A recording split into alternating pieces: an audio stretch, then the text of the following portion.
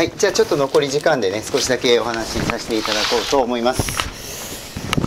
えー今日のテーマとしてはね心と体をデトックスする方法ということで、まあ、断捨離という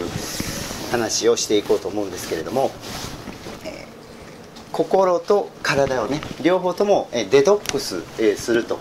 いうことで、まあ、つまり解毒ですよね。全部えーいらないものは出してしまおうという考えで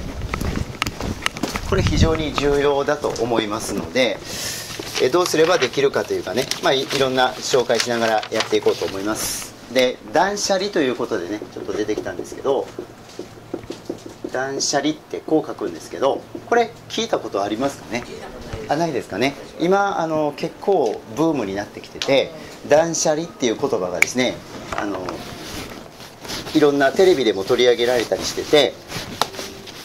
山下秀子さんっていう方なんですけどこういう断捨離っていう、まあ、これに関係する本もいろいろね出てます本屋に行くと。で、えーこれは何かっていうことなんですけど、まあ、山下秀子さんっていう方は、えークラターコンサルタントっていうことでクラターコンサルタントって言っても英語なんでわからないと思うんですけど、えークラターって何かっていうとガラクタなんですね、えーガラクタの,、まあその指導する片付けの指導をするコンサルタントっていうような感じでまあいろいろあの今セミナーをされたり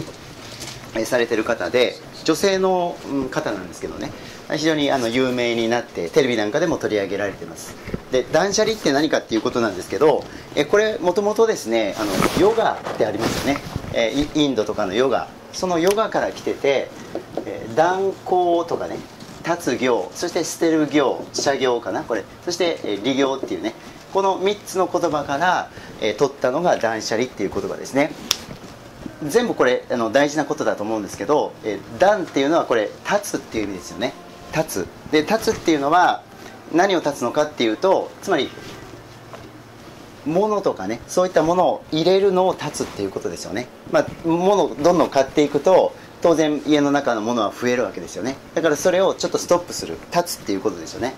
で本当に自分が欲しいものを手にするっていうことですよね。でいらいらないものはもう入れ入れないっていうことですね。こうあの例えばダムがここ水路があってここがダムだとしますよね。そしたらここが入り口ダムの入り口でここが出口だとしたら、えここで、え要は立つんですね。余分なものをストップする。で入ってこないようにするっていうのがこの、え断捨離の断ですね。そして、え、捨っていうのは、え捨てるですよね。これ捨てる。だから、えここの中にダムのここの中にですねどんどん物が物っていうかゴミが溜まってくるわけですよね。だからこれを、え通路を作ってあげて、え余分なものを捨てていくと、えいうことで捨てる、え断捨離の捨は捨てるっていうことですね。つまりガラクタとかゴミとか必要ないものを、え捨てていって本当に自分の周り身の回りをお気に入りのものに整えるっていうことですね。でこの立ってそして捨てていってそうすると、え今度は離れるっていうことでこれは何かっていうと、え自分のその執着とかを放放つっていうかね、えー心の執着とか離れていきますよね、えーいろいろものをすっきりさせてあるいは心をすっきりさせていくと、えー非常にですね自分の心の中がすっきりするっていうことで「えー理」ですね断捨離離れるっていう意味で、まあ、これがあの断捨離という言葉の意味になるそうです。でそういう意味であの本当に、余分なものを入れない。そして、えーいらないものはどんどん捨てていく。そうするとあのすっきりしていきますのでこれあの環境と、えー頭の中と全部一緒なんですね。それもあのまたちょっとおいおい説明していきますけれどもつまりまず環境を整えるっていうことを、えーするということですね。で環境を整えると、えーなんとなくその例えばいらないものがあの自分の部屋の中のいらないものをどんどん捨てていくと結構すっきりする感覚ってありますよね、ええ。だから心と環境ってすごい連動してるんですね。え環境がすっきりすると心の中もすっきりするということでよくあの掃除力とかね。え掃除の本っていっぱい出てるんですよ。うん。でまあ、この「断捨離」っていう本の次にこの「俯瞰力」っていう本も出されててまあいろいろこの山下秀子さんっていう方も、えー活動されてるんですけど結構本、え僕もねあの掃除の本だけはいっぱい買うんですね。本だけはえこういうね、えー全てうまくいく掃除力とか、えーあのイエローハットのですね鍵山鍵,、えー、鍵山さんっていう方がいるんですけどこの方いろいろ掃除のね掃除道とかいうことでトイレ掃除をこうあちこちで、えー、したりとかそういうことをされてると、えー、ねまあ、たかが掃除という流れとか、まあ、こういう本だけは僕もいっぱい買い込んでね読んで満足してるというね いうことなんですけど、まあ、掃除力っていうのも一時流行ってね夢を叶える掃除力とか。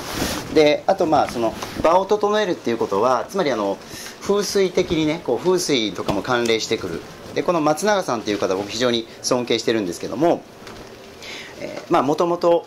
その千日解放とかいうね修行してたアジャリさんだったんですけども、まあ、その今はこう環境の指導をしている方っていうことでねあの松永さんという方がいるんですけど、まあ、この方はその環境、えー、環境科学研究所っていうものを立ててそしてあの風水のね、え、いろんなものをされてます。で、えー、まあ、こういう何て言うんですかね心地いい空間こういうね家の中の、まあ、暖色系を主に使ってるんですけども、まあ、非常にあのこれが松永さんの自宅だそうなんですけれども、まあ、こういう風水の部屋っていうか風水の家を作られてでいろんな方に、えー、指導されてると。やっぱ全然違いますよね。こう見てもね、うん、こういうね。だからかあの白熱灯とかちょっとこうあったかい光を、え、ベースにしてそしてあの暖色系の、え、壁紙とかを使うとやっぱり家の中が非常にいい空間になるんですね、まあ、そういうのもあのされたりこれもすごい参考になるんですけど、まあ、そういう場を整えるっていうのはすごくやっぱり大事なんですね。人間っていうのはやっぱこの自分一人で生きてるわけじゃなくって全てここ連動してるわけですよね。でこの前ちょっと言ったようにあの僕たちの空間あの僕たちっていうのは意識っていうのは自分の中だけじゃなくって外にも広がってるんですね。だから全部環境と連動してるって考えた方がいいわけです。掃除って言いますよね掃除。で掃除って一言で言いますけどもこれもよく見ていくといろいろな、え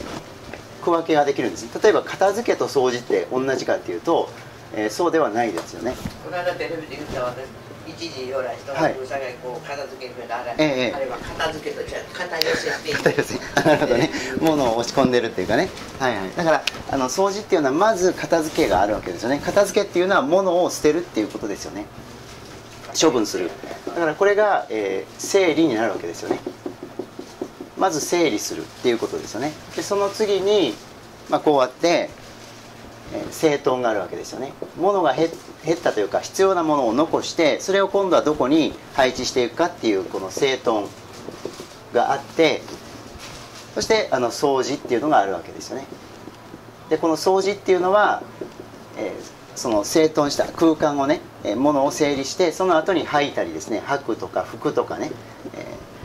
えー、磨くとかそういうことをするわけですよね。だから掃除一言で言いますけど、まあ、これだけのねものがあると。まず物を片付けないことにはいっぱいの中でいくらねこう収納がなんだかんだって言ってね収納を工夫してやったとしてもやっぱりあんまり意味がなくてですねできるだけまずもういらないものを捨てるっていうのをあの持った方がいいですね。であのじゃあどういうのを捨てていけばいいかっていうんですけどこれもいろんな人が言ってて、えー、近藤まりえさんっていうこんまりさんっていうね川れし川れしこの女性の方が掃除術の本か、えー、書いてて100万部とか、えー、以上売れてるんですけれども、まあ、その方は、えー、ときめきとかって言ってね、えー、ときめかないものは捨ててくださいと。えー、この手に持って、まあ、服でもねあのもう着ない服っていっぱいありますよね多分。あのだからそれを手に持ってときめいたら残しとく。ときめかなかったら、えー、も